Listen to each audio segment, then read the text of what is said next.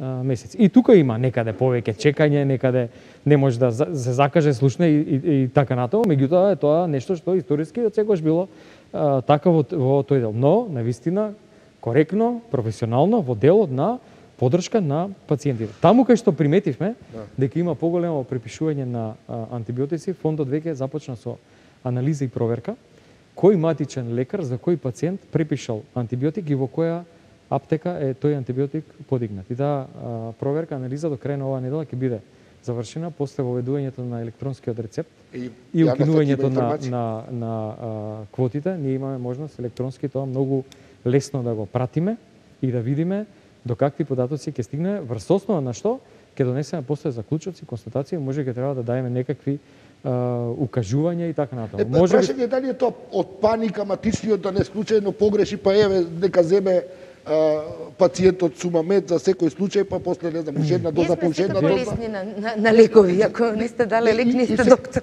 Се обидувам бидејќи видете ме прашувам меѓу другото затоа што гледам со која со колку внимание граѓаните обрнуваат постои една група на Facebook на која веќе има во недела во 10 дена веќе 20.000 фанови има кои се постојано присутни и прашуваат, луѓе кои се интересираат, луѓе кои од нигде никаде делат совети, тоа е друго прашање, но тоа сепак е некаков одраз на една по мене или рефлексија на еден проблем со информираноста на на граѓаните и можеби отсутство на релевантна информација од таму каде што треба да добијат.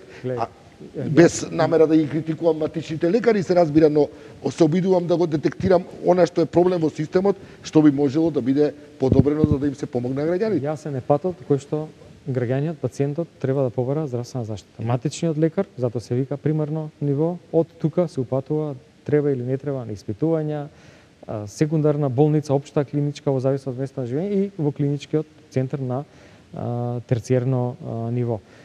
Е сега мора да бидем искрени да признаеме дека ние со години на назад имаме една тенденција, посебно во оној период, а тоа беше сега до скоро, кога се уште имаше сега се уште имаше квоти во аптеките да. на тенденција на формирање домашни аптеки. Да. И тоа беше факт. Од кога се укина а, квотите во многу аптеки, реализацијата на процентите минатата година во некои градови, ќе кажам конкретно во Струга, се намали за 30%. Значи може да замислите колку луѓето биле во паника, купувале лекови да формираат домашни аптеки и посебно да. сега во оваа ситуација на на пандемија. Но како, тоа е целта зашто тоа е целта како земаат без целта, рецепти од матич. Тоа е целта зашто испитуваме. Да. И затоа до крај на делото кога имаме точните информации, повторно кажам, кој матичен лекар за кој пациент препишал каков лек и во која аптека е подегнат, ние ќе знаеме точно што става Само сакам да, да кажам дека овој проблем на нерационално препишување на антибиотици е со децении стар. И не е карактеристичен само за Македонија, туку за целиот Балкан. Значи, тоа се статистики од Светска здравствена организација.